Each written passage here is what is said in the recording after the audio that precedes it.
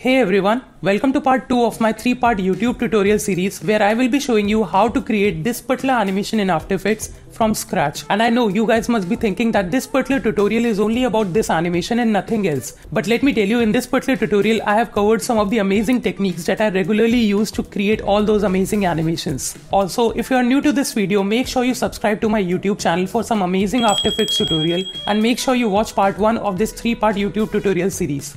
So without any delay, let's get started. Now here we have a new comp in After Effects and let's create a new solid of white color.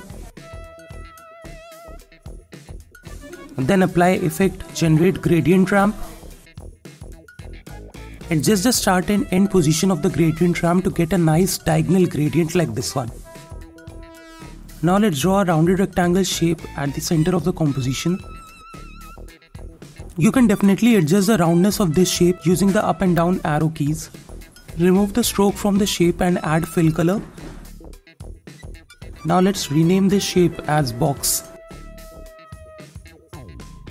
Align the shape to the center and turn on 3D for it.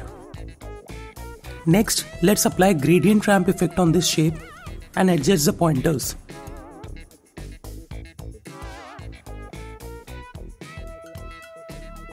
Select your shape, press P for position and then alt click on the stopwatch before it to add the expression value plus open brackets 0 comma 0 comma index close bracket.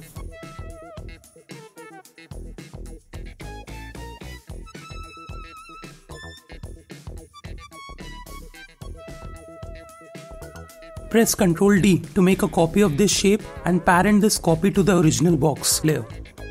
With this little trick, you can add extrusion to any shape and turn it into a 3D object with slight gap in the position values. And since the renderer is still classic 3D, you can easily add gradients to all the shapes. Drag the copied layer down to the bottom of the original layer and then with Ctrl D make multiple copies of it. And there you go, you have nice 3D extrusion in a simple shape. And now since all the layers are parented to a single layer, once we animate the parent layer, all the layers follow it. Now to make it more realistic, make sure the first and last layer have the same type of gradient which is different from the gradient applied on the extrusion.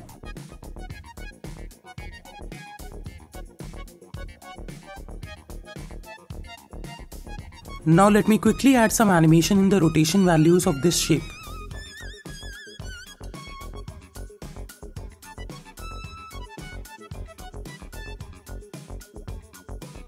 After setting up some nice keyframes and adding a loop out expression, here's what the animation looks like. And now it's time for some magic. Take a new adjustment layer. On it apply effect color correction colorama effect. Adjust the colors of your colorama effect.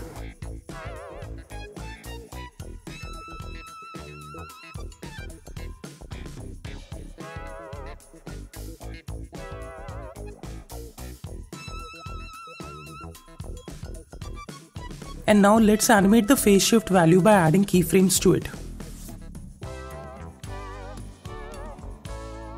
Apply easy ease on your keyframes and adjust the speed graph to get a nice smooth animation like this one. Now look at the interesting result. This is a great technique to have in your arsenal and something to be creatively experiment with to see what kind of dope shit you guys can come with. So with this particular trick, you can add gradients to all those 3D objects without using the Cinema 4D renderer. Now let's talk about another technique that we are going to discuss here, which is displacement map, which is quite literally used to displace objects and you drive the displacement using maps created in After Effects itself. Let me show you how. So to show you what this means, let's take a new composition where we have called a new solid, applied gradient ramp effect to it, and then applied colorama effect to it. I'm speeding up this part of the process because so far we have repeated it multiple times and I believe now you know how it actually works. But you can easily follow all these steps to create a nice black and white pattern just as I created here, which is going to work as a texture for our displacement map.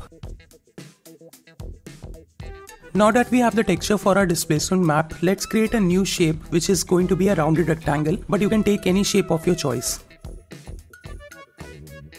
Once you have aligned the shape to the center, apply a nice gradient ramp effect to it.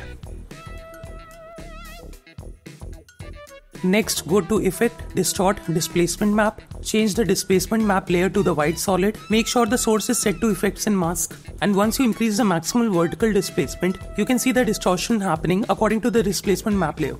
And this is such an awesome technique because you can be really creative with your displacement map to control the results. Since the displacement is very sharp, let's go back to our white solid displacement layer and add a fast box blur effect to it.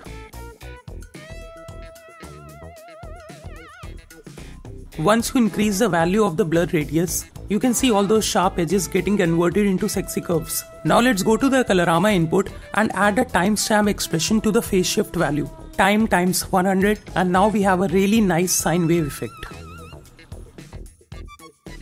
Now the key thing to remember here is that you can use any shape or layer to use as displacement map and you can apply this effect on any shape or layer so you can just be as creative as possible. Now let me show you a practical example combining all these techniques that we have learned so far to create something amazing.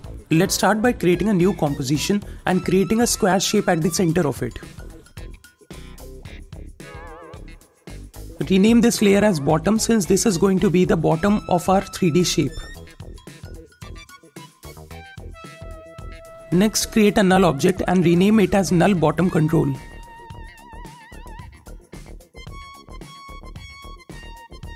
Make sure the null is set to 3D and parent the bottom layer to this null object. Now sit back and watch how I create all the faces of this 3D shape with easy to follow steps.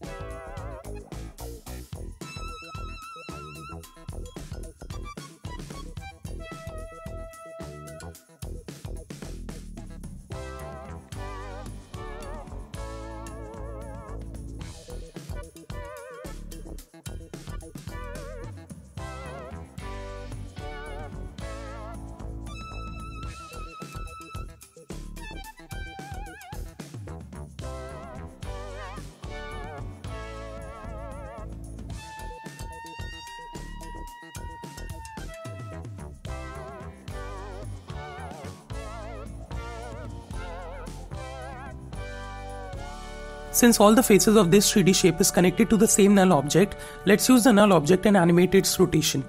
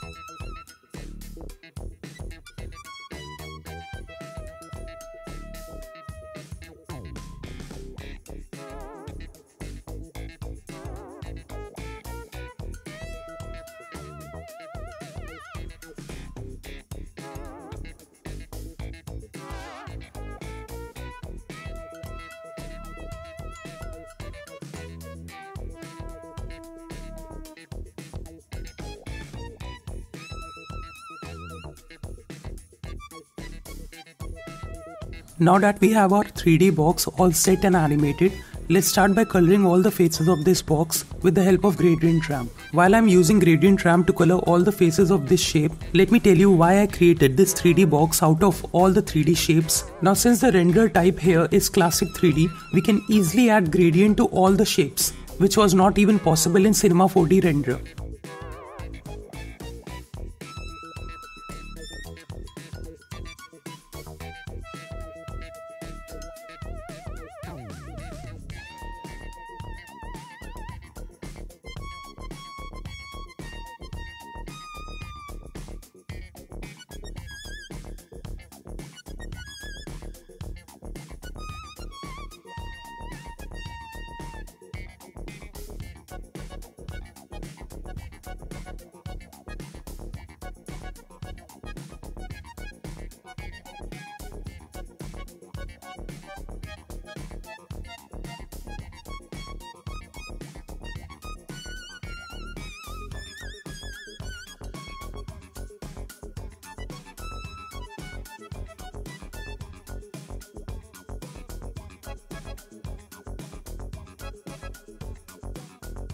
Now that you have the gradient adjusted for all the shapes, select all the shapes and slightly reduce their opacity to make this object translucent.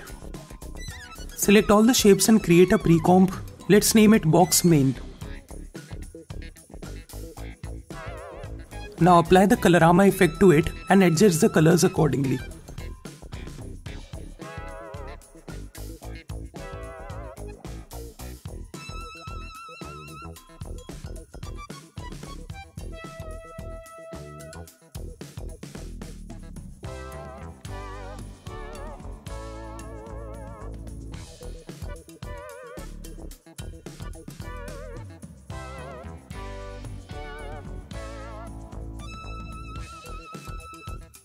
Now let's animate the phase shift value.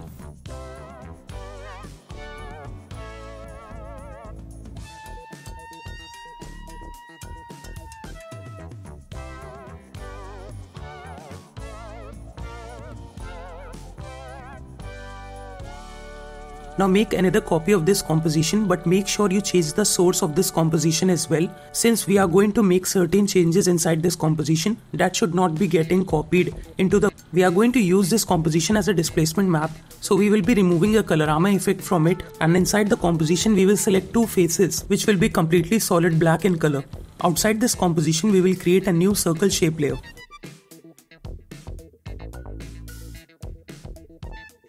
Now let's add some colors to this shape using the layer style gradient overlay.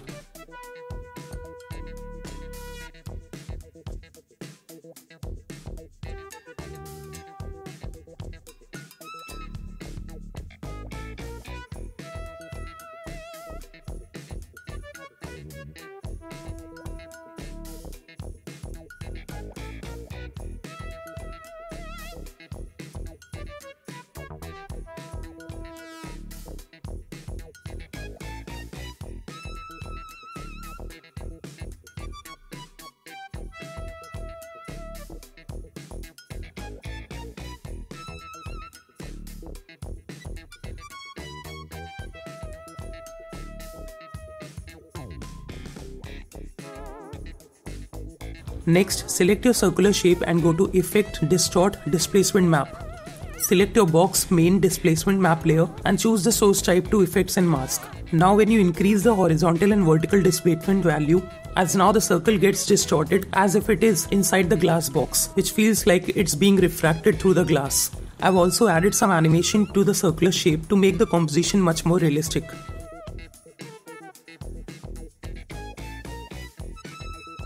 Look how dope is that. Next I turned on collapse transformation for both the compositions and added a new camera to create the isometric perspective.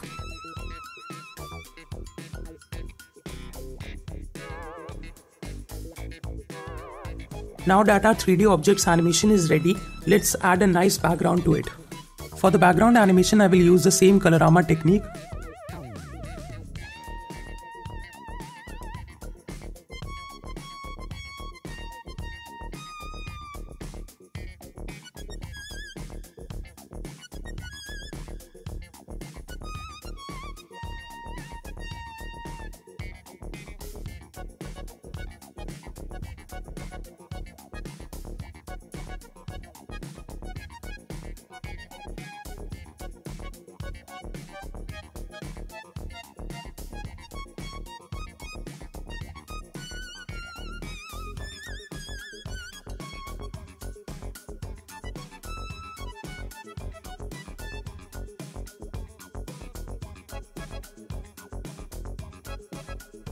At last to take it up a notch, I have added an adjustment layer through which I can add two effects, glow and noise to it.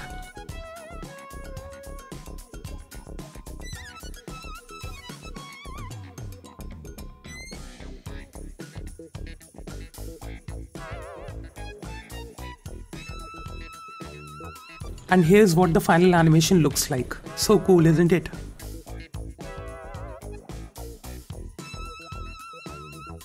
Now if you really like these techniques, make sure you try them out and share a token of your appreciation by liking this video. Once you create something amazing using these techniques, don't forget to share on your Instagram and do tag me by the name Motion by Akash. See you in the next video.